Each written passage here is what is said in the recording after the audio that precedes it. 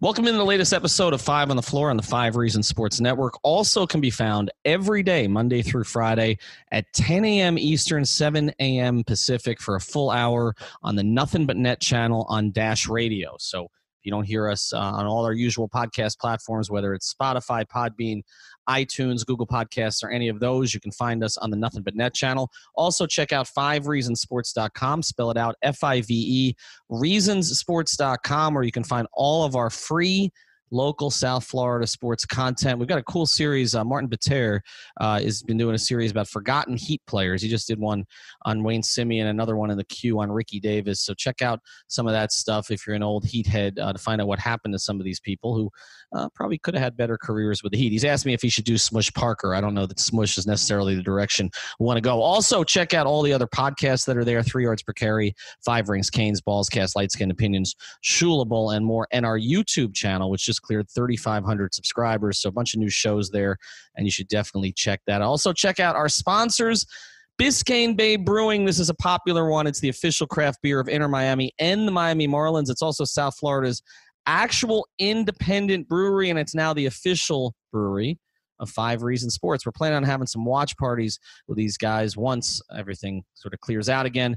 But Biscayne Bay is owned by local guys who employ people in this community to make their beer right here in South Florida. They're going to have they're going to be based in downtown Miami, walking distance from the arena soon. So you, you don't think we're going to have some pre games and post games?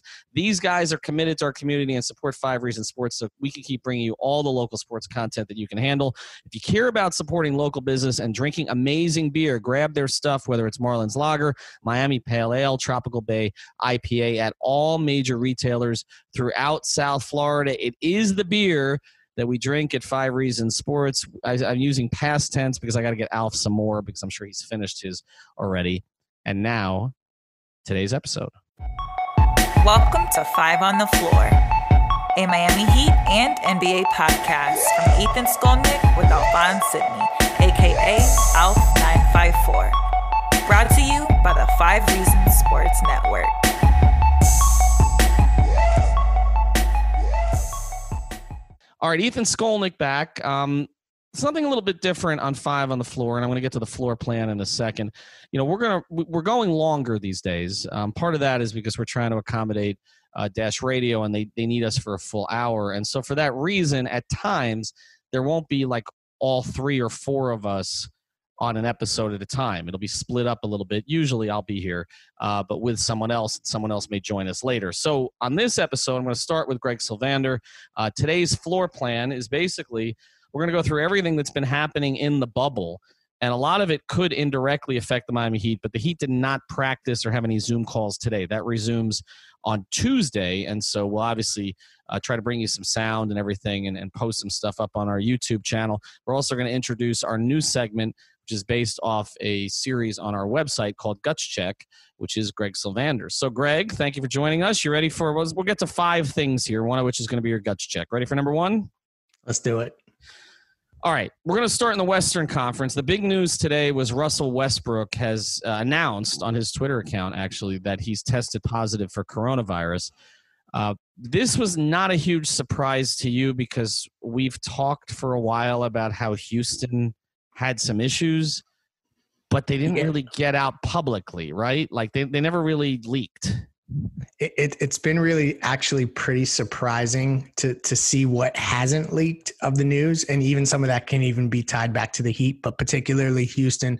Um, what I had heard, um, maybe approaching ten days ago, I don't know, all the days are running together, was that um, that there was some scuttle that the that the facility may have closed, um, and I was not able to confirm that. So, um, you know, who knows? You know, it was kept private, but for the most part, it was because of some positive tests. Today, in light of the Ru- Russell Westbrook news, there's, um, you know, even been some kind of uh, people are saying under their breath James Harden could be included. I've heard some of that as well, but it's still unconfirmed. Uh, that that's a it's a pretty big deal. I think those are probably two of the bigger names, um, and particularly as they were set to embark upon the bubble to stay back. Both players did stay back. That was reported. Um, it, it, it just it this is one of the more high profile situations I think we'll see, and uh, it'll be interesting to see how those guys get integrated and and, and back with the team. Well, if you put together an all COVID team right now, um, you probably win a championship, right? Uh, you, I mean, who, who'd you have? Harden? Oh, well, we don't know Harden for sure. And I don't want to jump the gun because I was careful not to jump the gun with the Heat, but there is a lot of chatter out there on social media, and it's something that I had heard as well. But I mean, if you looked at, at, at Harden and Westbrook, Bam, I mean, who, who am I missing? Who else is Dinwiddie tested positive, right? Um, I mean, these are just some of the ones that have leaked. Uh, you know Durant, even though he wasn't going to play. Uh, it's a pretty significant list. I, I, think that this freaks people out again because it's a name. Uh, because you know everybody's concerned about the bubble, but uh, what I'm trying, what what Alf and I and others have tried to say is the NBA expected a certain number of positive tests, and everything I've been told is that the numbers are lower than they expected. Um, they thought there were going to be more. I mean, even on the call, Michelle Robertson, the call I was on that you know with a bunch of media, Michelle Robertson and Adam Silver basically made it sound like this is this is like a dream scenario compared to what they thought it could be. Um, yeah. I, I guess the issue becomes because we've seen two MLS teams uh, basically have to you know not participate in a bubble in Orlando, um, and the MLS rules are not as strict as the NBA rules, and I guess that becomes the issue. Is you know if there start to become these positive tests in the bubble that spread through one team how far does it have to go before they shut it down? And I don't think there's any way they'll shut it down, honestly, Leif, without a death. I, I just, I, I, I think they're so all in on the. I, I mean, I don't mean to be light about it, but like they're so far all in on this thing yeah. that eh, it's not stopping uh, unless there's something someone and they don't really have anybody who's been sick yet that's the other thing right like was gobert sick was I eh, was mm, not not that I recall. I, I think that the only guy that's had complications that I can remember off the top of my head, and I could be wrong, and I'm not tracking this, is Dinwiddie, right? Yeah, Dinwiddie has had complications and was trying to get back from it, and and part of now now is he coming back in? Because I don't even know. Like they he he tweeted about how he could play. Of course, the Nets have basically grabbed every player off the street because they don't have a full roster. Yeah, I don't I don't think he's going in, and um, you know, it, it, you're so right in that like when you think about what it's going to take for this machine to stop churning forward. And it, there's a little bit of um, it, it feels kind of dirty to even have to think that it would take a death to get there but there's so much money involved and um, these you know everybody's kind of locked in on getting through and seeing this through that i think it would take a rampant spread or or somebody getting in the hospital. And it's sad to see um, i mean it's just another example of kind of the dollar driving things and uh, and th- that's a tough pill to swallow. It's tough to talk about um, but you know obviously it looks like the show is going on regardless. Yeah i, I think it, it ha- I, I think from their view um, they see it as it has to and however they want to justify it whether it's you know adam silver's view that the nba kind of let us out of you know everybody watching sports on tv and they want to lead us back in I, I just think, and they they also there is a certain arrogance, and I think with the NBA it's earned that they feel that they protect their players better than any other league does, and they want a chance to prove it. Um, but like I said, when somebody gets sick, that's going to be the question. Once it spreads to three or four players, they're hoping to mitigate that. Um, but we're already seeing some players are acting kind of stupid. I mean, the stuff in the bubble is fun. We're going to talk about Ben Simmons and the fishing, and you know Meyers Leonard shotgunning Coors Lights somehow in half a second. Uh, all of that stuff is cool and it's fun. But then didn't somebody somebody had to leave for ten days, right? Because they decided to go pick up food. Um, I saw that today. It wasn't Kelly Oubre, even though he threw it out on Twitter. Shh, the Postmates driver can get in if you go the right direction or whatever. But there was somebody to oh, Rashawn Smith, I think it was. I'll have to check it, but well, there was also the Rockets forward Bruno uh, Oh yeah, Bruno Cabasio. Yes. I think I'm saying it correctly. I could be completely botching that name, but he in, he inadvertently broke quarantine, and now he has to stay in his room for eight days and stay you know away from the team completely. So that was widely reported. Um, so uh, there's going to be more and more of those slip ups, and and hopefully it's a lot of inadvertent, innocent stuff. But mm. unfortunately, uh, if we take the blinders off, it's hard to see that there's not going to be a little bit of um, of maybe some bending of the rules. And that's where this gets dicey because if you see a team in the midst of a playoff run, I've said this from the first podcast that I did related to this entire um, season resuming. Like, could you imagine the NBA finals and LeBron and AD all of a sudden test positive and have to sit out in game three? Like, it's like the, like to think that that's even possible um, on that stage, uh, it's definitely a gut check. no, no doubt, no, no doubt, and and it is possible, and that's the thing. The deeper they get into this, the harder it is for them to dig out of it, and.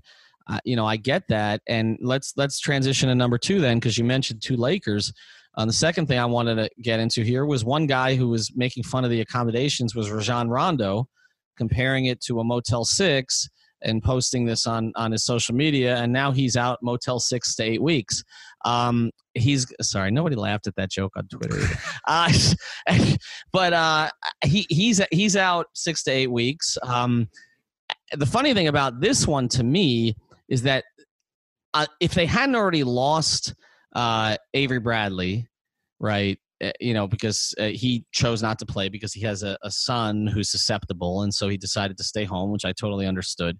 But if they hadn't already lost him, um, I, I would have think I would think you know eh, he, losing his old Celtics you know backcourt mate Rondo, who hurt the Lakers when he was on the floor this year badly. Okay, I mean he was a plus for every team that was playing the Lakers.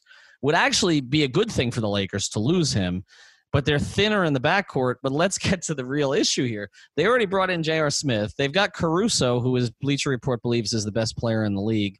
Um, uh but we know who's going to get the touches now, right? I mean, ostensibly, the point guard of the uh, of the Los Angeles Lakers is going to end up being Dion Waiters. No, it has to be. I mean, he, at least he can create, and he's going to be. Um, he's going to have the definitely the the playing time to to make that happen. I thought it was funny how quickly.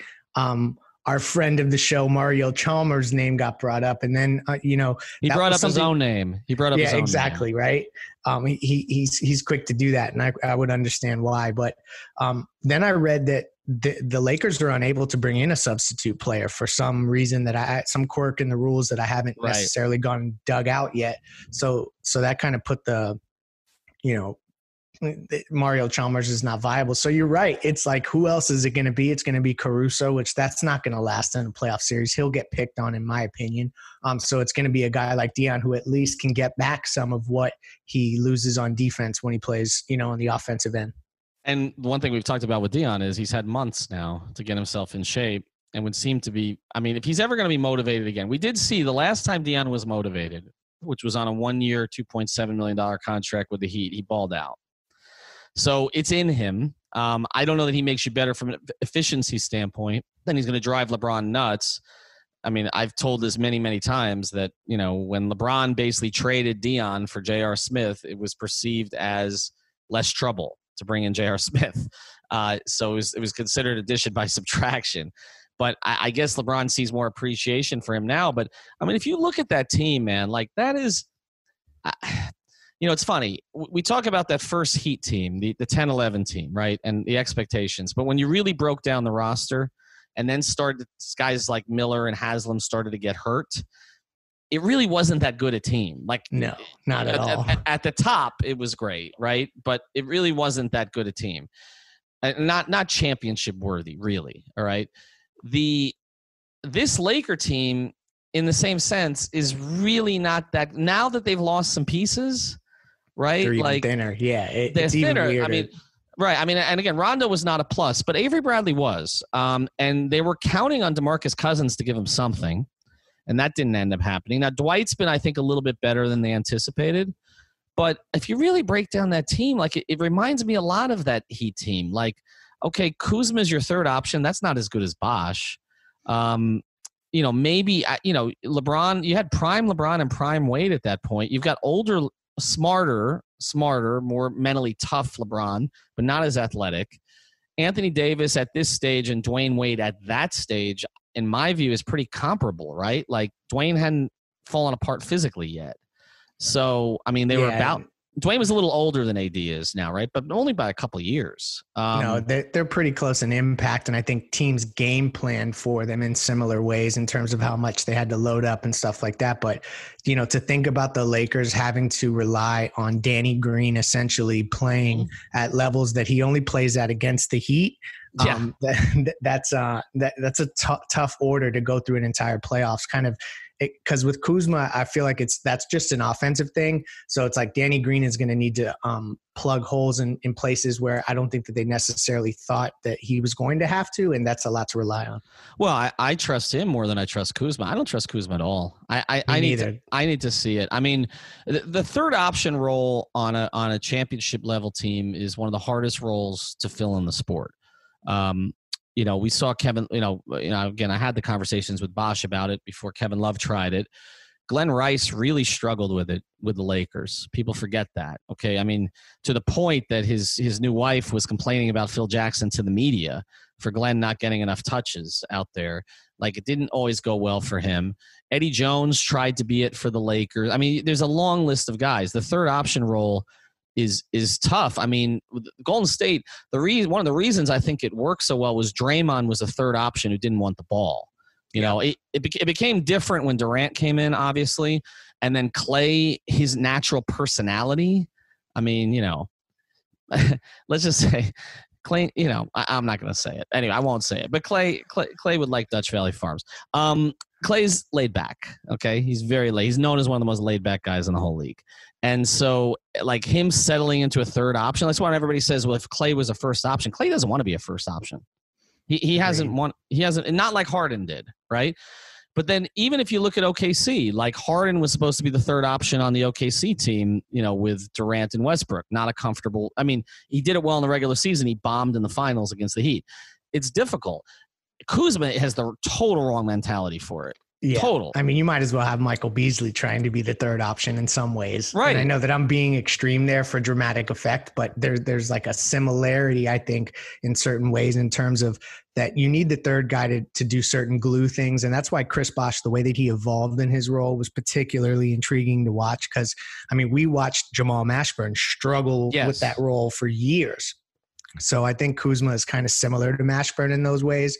Um, and so that's just another thing. But you know what?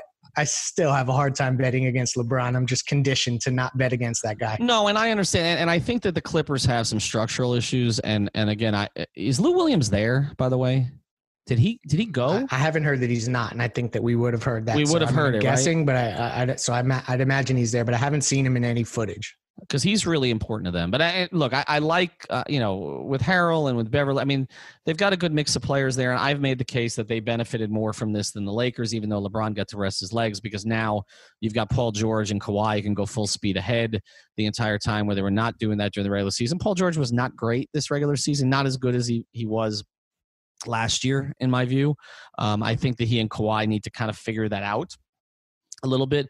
I'm with you about the not betting against LeBron, but again, I look at the rest of this roster. They these guys they're picking up off the street. They're not like plugging them in.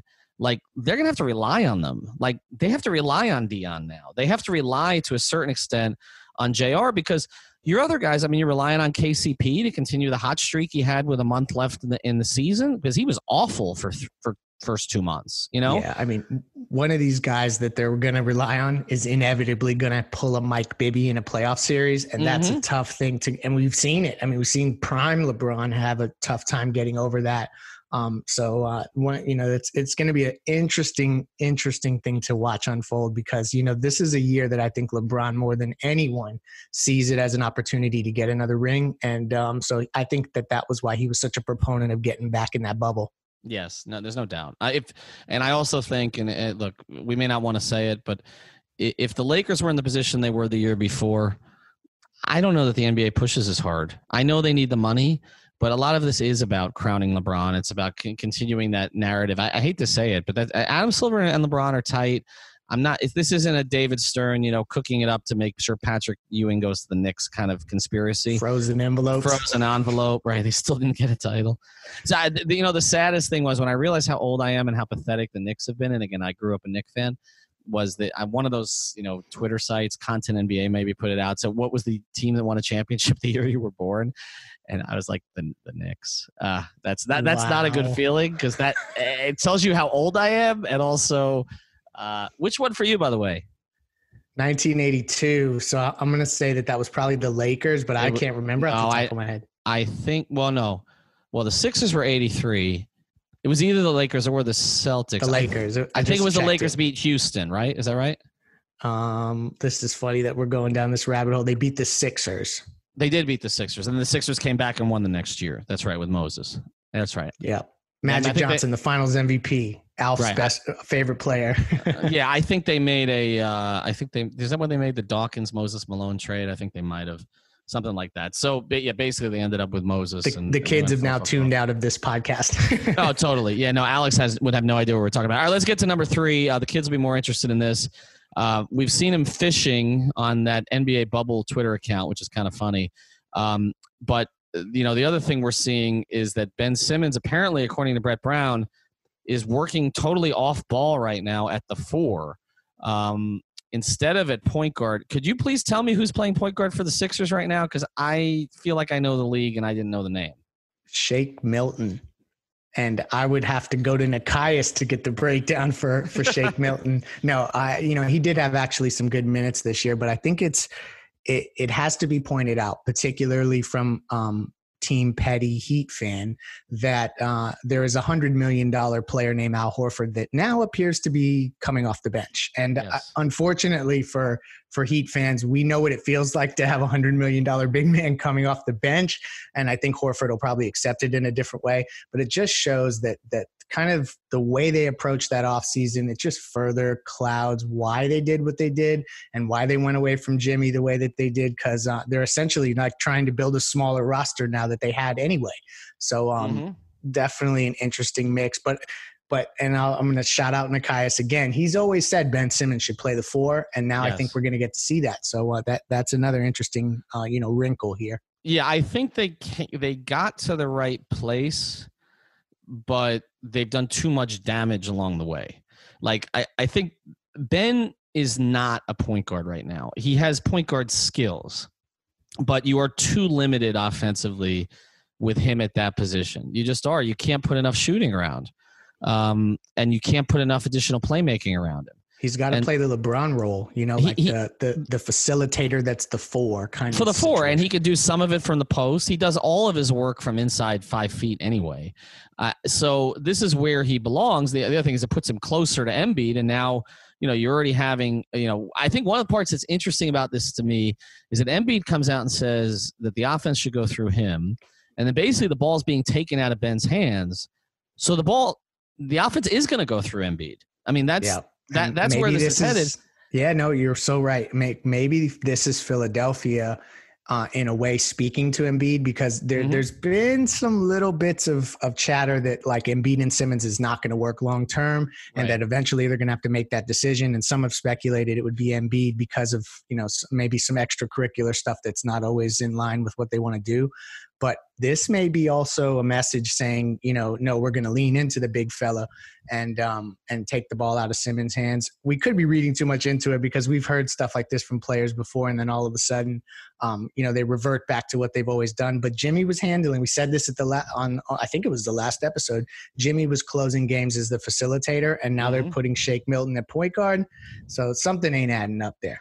No, I don't think they went into the season think they would do that. I mean, they had um, Trey Burke was playing a lot of point guard minutes for them earlier this year. I, I also think we've got to be careful, like buying into too much of what coaches say in the bubble.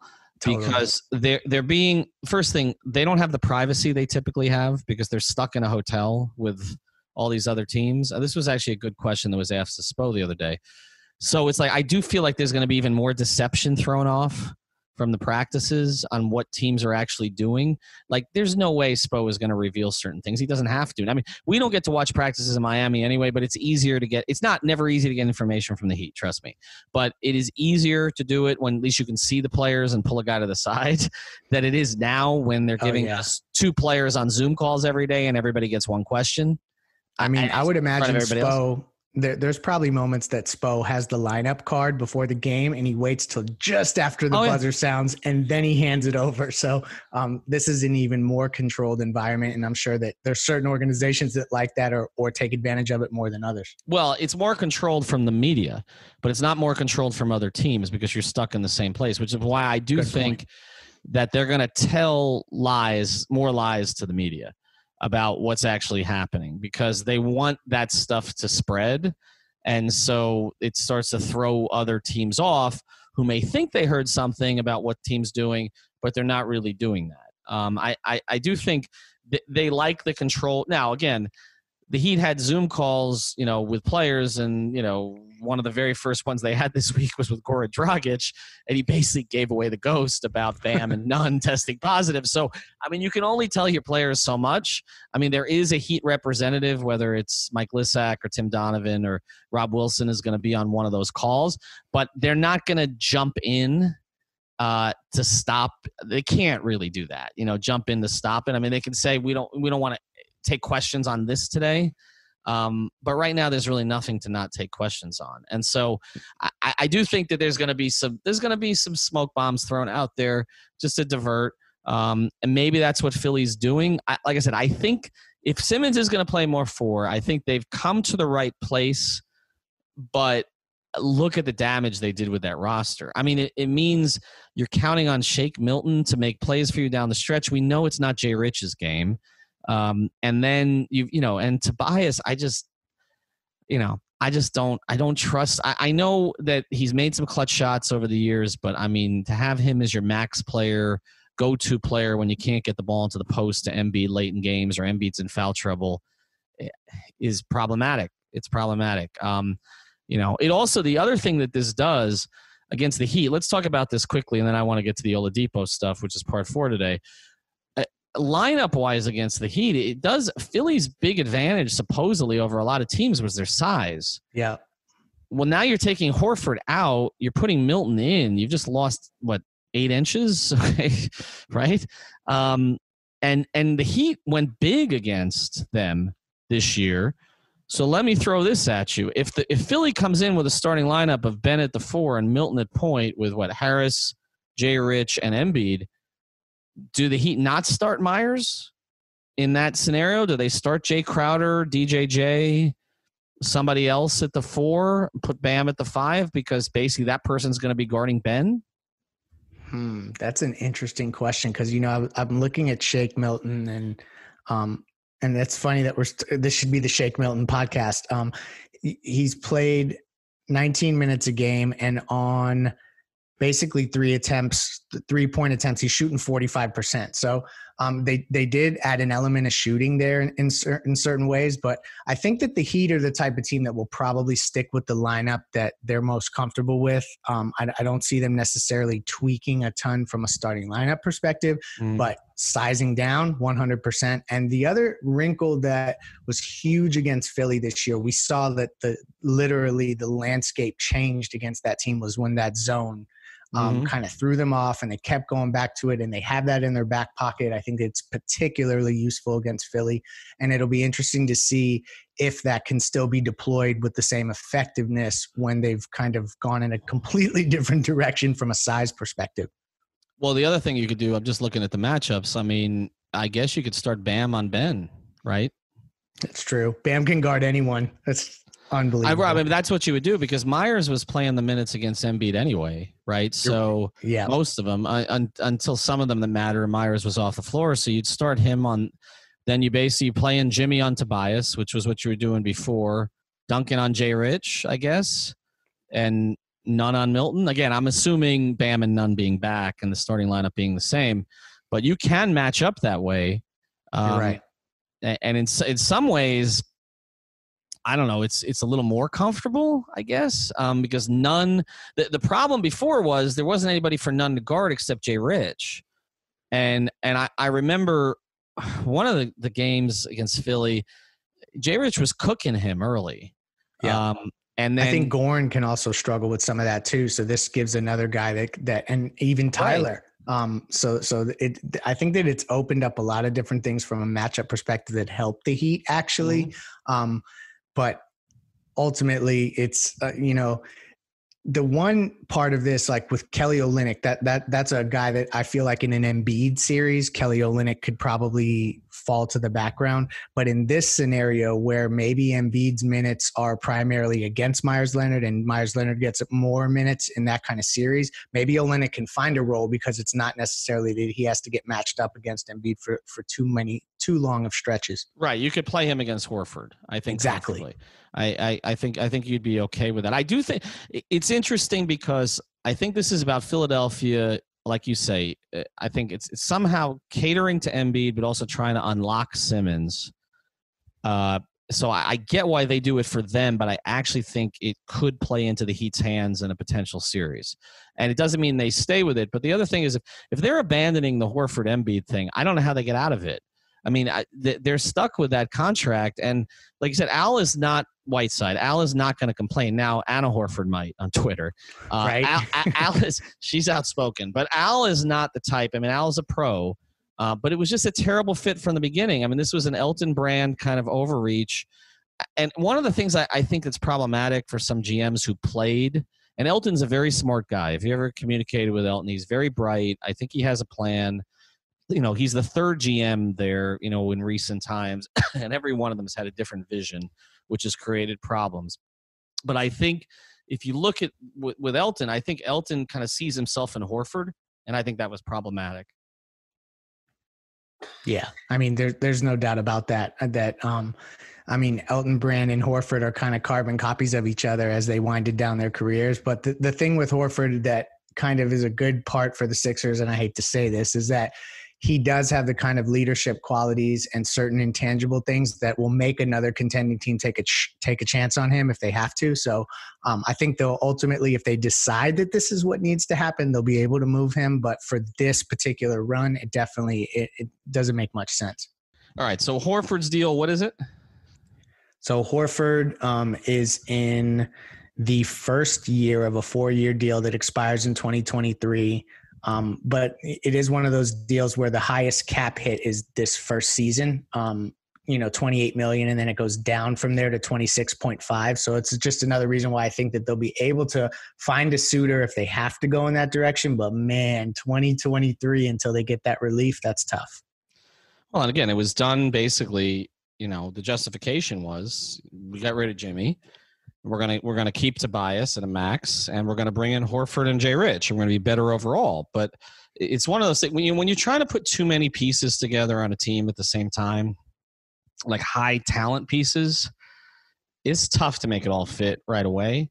And the problem is, I feel like this Philly team has a shorter timeline than young teams typically do because everybody knows that there's issues with Embiid and Simmons. So it's like, yep. okay, we got to make the, you know, with other young tick, teams, tick, you can kind of wait. Right. It's ticking, right? But like with this team, it's kind of like, all right, if we don't, and, and I've never seen a team that came into Miami over the past couple years that looked as miserable as the Sixers. I mean, the one blowout game here, but also like Jay Rich, like if you if you were around Josh Richardson in Miami, he was always positive. I mean, from the very beginning, like I remember having conversations with him when he was a rookie, not playing.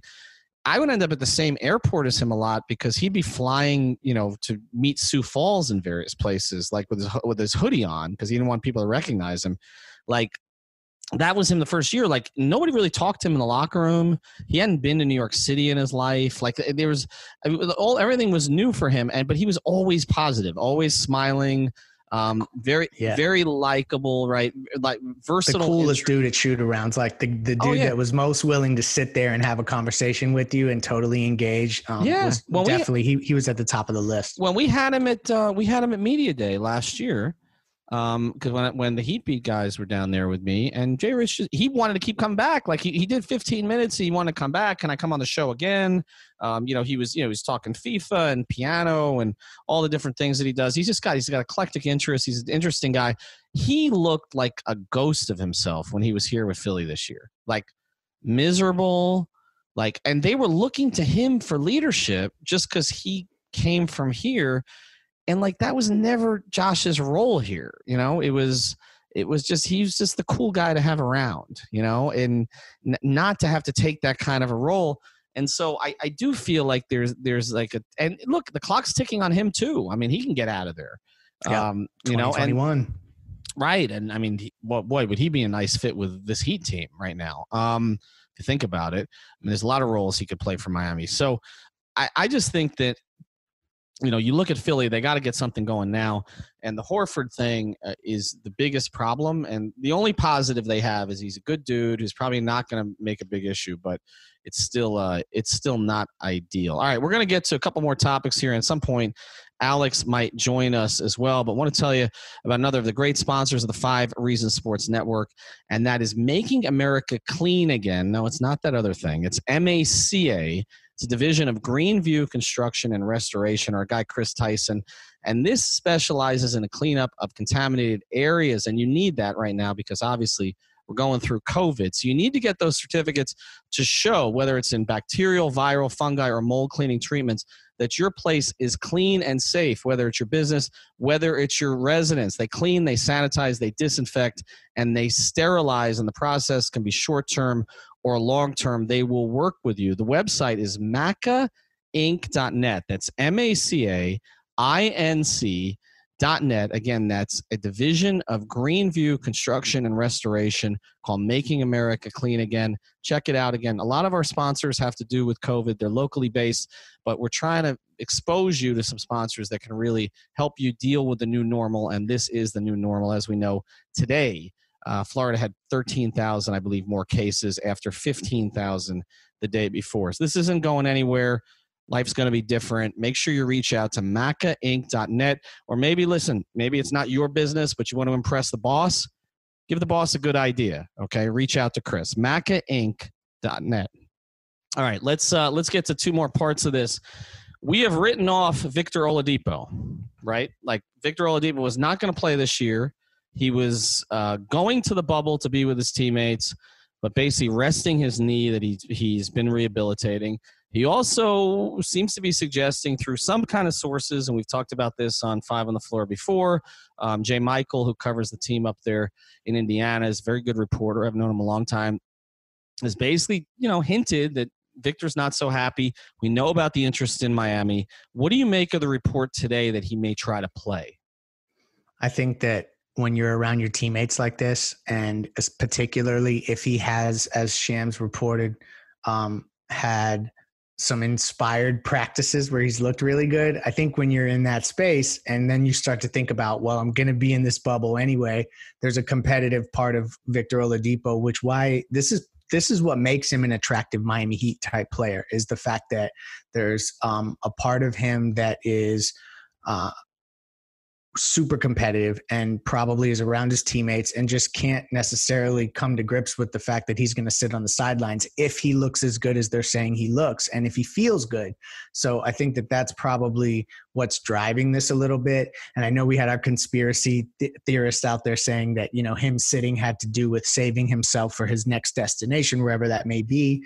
But um, ultimately, uh, we've talked about the Heat getting the chance to evaluate Oladipo to make an investment from a free agent perspective, but this is also a chance for Indiana to get an idea of what kind of team this is and how far they can go with a healthy Oladipo. They can see how healthy he is. So um, I, I think ultimately it'll be a positive thing, but there is um, from the Heat's perspective, you maybe were aiming for that Indiana matchup, and there were ways that maybe you could manipulate seeding by the teams that you faced.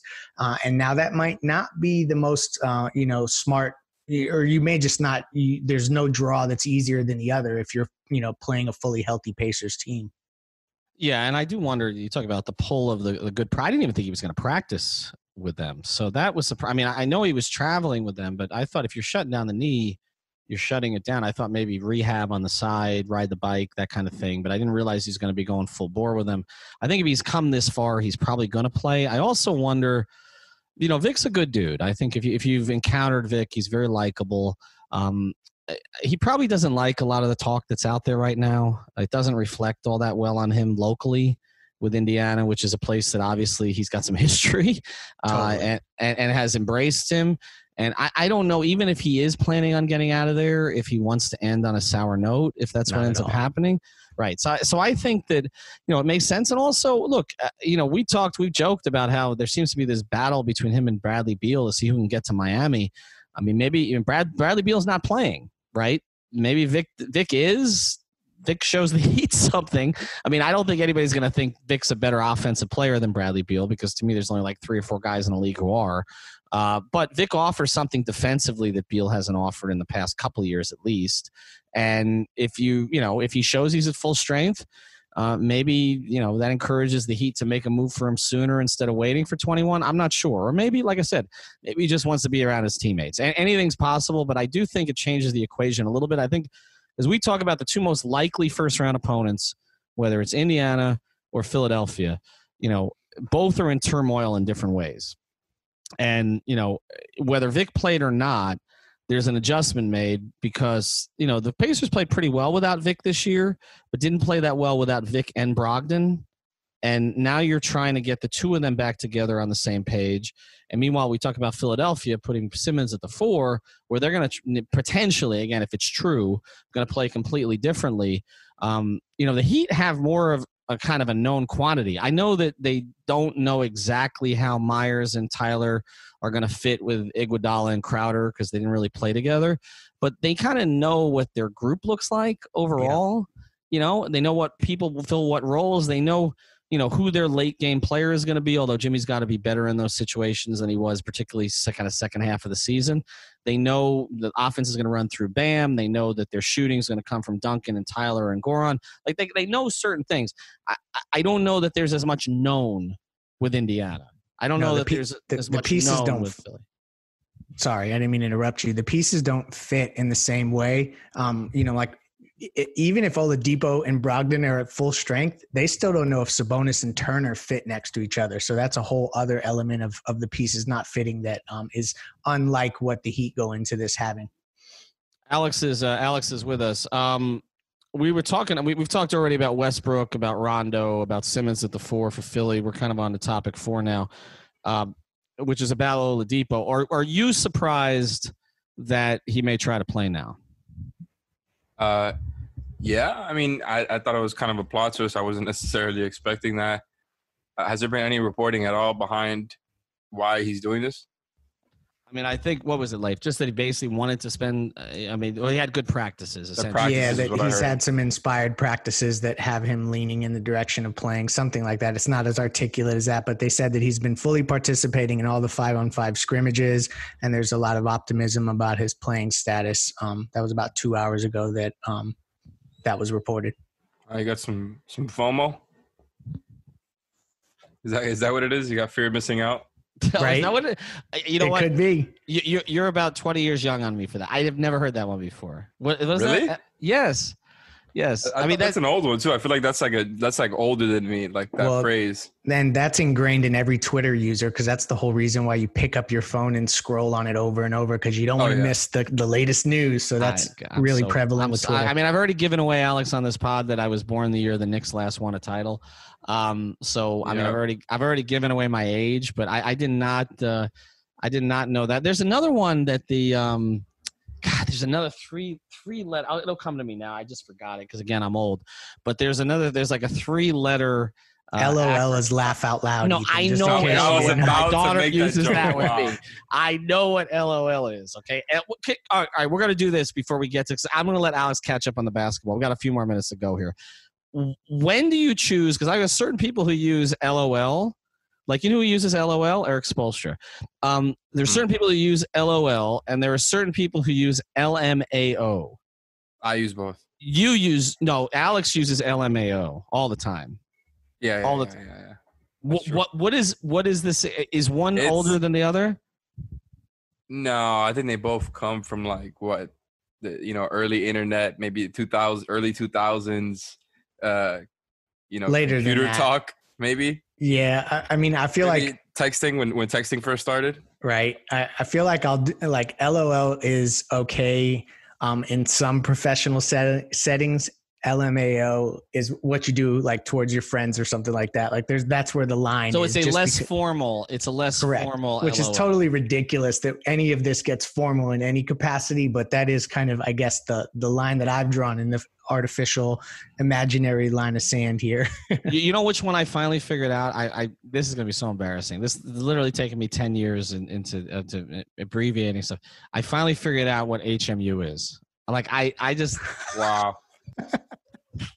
I find. I, I wish Alf was here on this episode. I, I finally because because my daughter used it with me. Seriously, okay. My six year old, she's six next week. Okay, she's already Wow. using these expressions. I finally figured. I don't know where she picked it up from, but I mean, Tyler, Tyler Herro. That's Tyler Herro. With he's he's using. for Well, yeah, it worked for Tyler Herro. Okay, obviously he hit someone up. Um, that worked. That worked out just fine. All right, Alex, we're gonna go through some basketball topics, and then we're gonna get you. Just you caught just in time for the first guts check here. Um, but let's let's get Oh, to these. man. Let's get to you to these quickly with you. Um, Westbrook being out quickly significance. Um, well, it's terrible. It sucks that any of these players get COVID, honestly, and obviously, and it seems like Harden also has it. There's there's some reporters that are maybe not you know Woj or Shams who we just take as fact, but there's some stuff going around Twitter that uh Harden and Russ both got it, and that's why they haven't traveled with the team to Orlando, and it's obviously terrible. It seems like just like the Heat guys are probably going to be back just around the time for the beginning of the restart, and again, this whole thing is just it's hard to talk about because we don't really know the long term effects of the human body. I'm sure you know it probably varies depending on the the person, but at the same time, it's like I, I don't know what else to say about it other than it's terrible. Just because we really don't know much else about it other than a lot of people get it really bad, some get it better than others, and at the end of the day, it sucks that these guys gotta go through that, and then now gotta play in a high stakes basketball environment. It's gonna be Well, the other thing- tough. Well, the other thing about it is, I mean, this is a guy who goes 100 miles an hour um, all the time. Oh yeah, So and I mean, Harden, we mentioned before. has asthma issues. yep, Yeah, yeah, I know, I know, and and you know it's funny too lost a because lot of weight too. well, right, he lost a lot of weight. Now I don't want to assume that had anything to do with COVID, but if he if he is basically at a different weight than he was before, his body might be affected differently. Who knows? I don't know what kind of transformations he's gone through over the past few months. So it is something to monitor. All right, number two, does losing Rajon Rondo, uh, Mr. Motel Six, for close to two months, he's going to have to quarantine after you know after after he heals. Um, does that help or hurt the Lakers? I mean, I don't want to be too mean and say that it helps the Lakers, but I don't think it hurts them too much. Is what I will say. Uh, you know, I think Rondo's main usage now in this in this NBA is just being maybe a solid backup point guard who can kind of run pick and roll with a big who, who can't really do much. That's why I think like maybe him and Dwight off the bench was maybe a solid thing for them just because of that. I think Dwight and, and Rondo, those are ba- basically what they're what they're good at, right? Like on offense, it's just basically running the pick and roll. Rondo as a as the handler and Dwight as a roller. And other than that, I think they'll be fine because even though they still lost Bradley, they still have other guys of that caliber like Kentavious Caldwell Pope and Alex Caruso. They signed Dion. Dion. They signed J.R. I mean, just They'll get to the guy who matters, man. Just get to the guy. Yeah, I mean, honestly, I didn't even think about that in in that aspect of it. I mean, they lost Bradley and Rondo, so Dion and J.R. could both kind of fit into those because they were both playing. They were both rotation guys for them. So I think we're actually going to see this. I'm pretty excited now. What could Well, go wrong? What what what could go wrong with the What won't go right? right. I mean, it's when when, I think it's when an the- upgrade if we're being serious here. well, it is an upgrade. I I, I don't Ron- Rondo can't. To me, Ron like this is proof again. Dion is better than Rondo, that's for sure. No, I think he is better than Rondo if he's if he's if he's at the right weight. Um, but this is proof again that you cannot. Well, it's just reality. I mean, he's. I mean, if he's if well, you can he's say in this for anybody, Ethan. If he's in condition, if he's in condition. But he, here's the thing about national media guys and why you can't follow them when they uh, talk about the NBA. Colin Cowherd actually talked today about how this was a crushing blow for the Lakers defense because they lost their two best perimeter defenders. Now you can make a case for Avery Bradley. Or Avery Bradley, from a statistical standpoint, um, has been overrated defensively for a while, but you can make an okay argument. He, right. You can make an argument for Avery Bradley. Rajon Rondo has not been a good defender for years, like almost a decade. Okay. like, so just don't At listen least- to Colin Cowherd talk basketball. At Ever. least since like the last season or so of when he was on the Celtics. I think that's when he kind of started trailing off. Definitely, once he got traded to Dallas, because he he just completely Oh, gave God. up there. That was just terrible. But uh, He wasn't good in Chicago either. I mean, he has not been a good defender in a well, he long was better in. Chicago than he was in Dallas. That's for sure. Right. uh, Well, yeah. and then that- that- Sacramento and Has then he- New Orleans. I forgot even go about to oh, I forgot about New Orleans. That's right. He was in. I, I remember the Sacramento. I mean, oh, he went to like- Dallas. He, he didn't. He wasn't he fighting with Rick Carlisle? Oh, there? Rick Carlisle couldn't wait to boot his ass out of there. And if Rick Carlisle's not one of those coaches that you're like, okay, it's the coach's fault. Like that was, No. you know, I mean, he said no. All right, let's get to it. The first ever edition of Guts Check. I think everybody needs to get a grip. You got to stay together if you got the guts, and you don't find the first door and run out of it. There are no obstacles. There's no obstacles. All there are are accusations and opinions. We have done this since 1995. We'll find out what we're made of here if you got the guts. This is Guts Check with Greg Sylvander. Okay, so l- let's rewind back to December of 2018.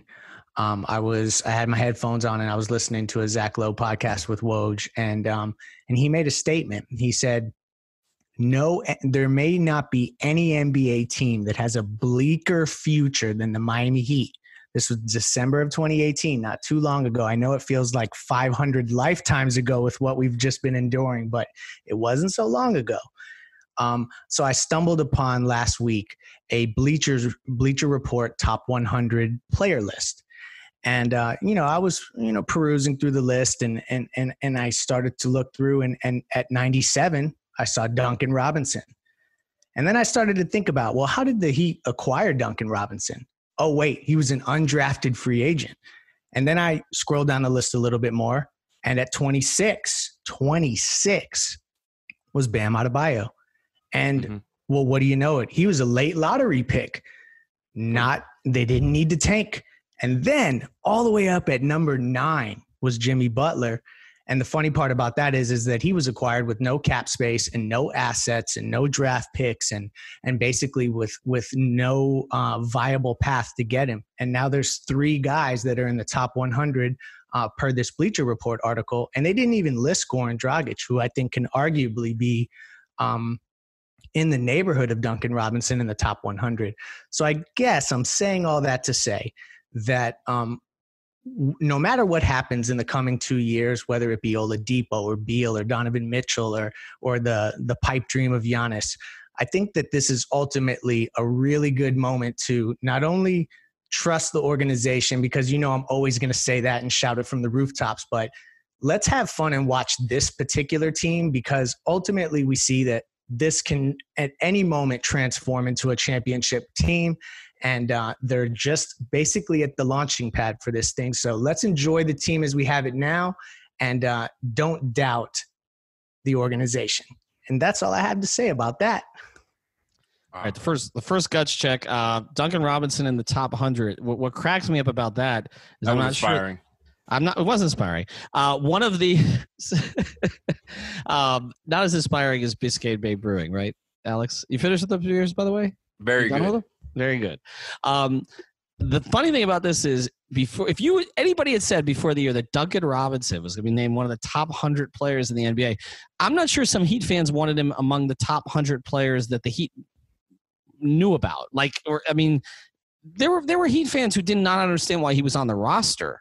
Yeah, there Um, were people who wanted him cut. oh yeah we can go find the receipts of the tweets we're not going to do that because we're a friendly show but but but they exist and duncan robinson was definitely an afterthought and to see um, even just some of the the synergy numbers and stuff like that it's pretty crazy Well, the I synergy mean, we were most are- wrong about Duncan Robinson, right? Like, I think Yeah, as yeah. much as we talk about being wrong about Herro and Bam, at least we kind of knew about those guys. But no, I, I- at least a little bit, right? But Duncan Robinson, wow, where we just everybody was wrong. Nobody saw this coming. Just like Nobody- Kendrick Nunn, Nobody those two guys, nobody saw it coming. And, Well, the only person who may have seen it coming was Erik, who called him one of the best shooters on the planet. and but I don't Leif, even, by the way, Leif, Right, the- it- Leif is modest, but Leif was. I remember when Leif was tweeting that the that the Heat had interest in in picking him up way before even the draft. I remember that.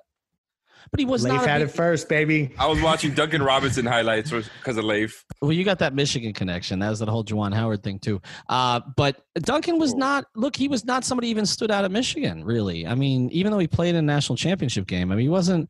He didn't jump off the page at you. And even though Erik called him, you know, one of the greatest shooters in the world, whatever phrase it was, uh, you know, there still was really no path for him to play.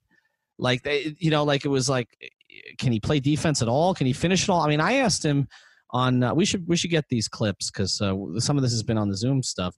And I asked him about you know his finishing, and he joked, you know, I'm not there that often, but he is. He's finishing at a ridiculously good rate. So in addition to this, you know what he's shooting off dribble handoffs and everything else that they're doing, which is just obscene. Um, he's actually competent in other ways. The only thing he has to do is he's got to stay on the floor, and you know he he's he's sort of cursed with the white guy thing where the officials don't give them the benefit of the doubt you know early on in their careers particularly until they prove they can defend and he just hasn't proven it yet. But yeah i'm, I'm with you leif. So any, excellent first guts check. Alex thanks for making an appearance. Um, you'll be on with us a little bit more uh, tomorrow. Check out five reasonsports.com five reasonsports.com thanks for nothing to nothing Thanks for nothing. No, thanks for something. To not for nothing. thanks for something. Sorry, this is a, this is an episode where I choked on a pretzel. Uh, thanks for something. Nothing but net channel on Dash Radio, um, and also uh, check out the Biscayne Bay Brew and MacaInc.net. Thank you for listening to the Five on the Floor on the Five Reasons Sports Network.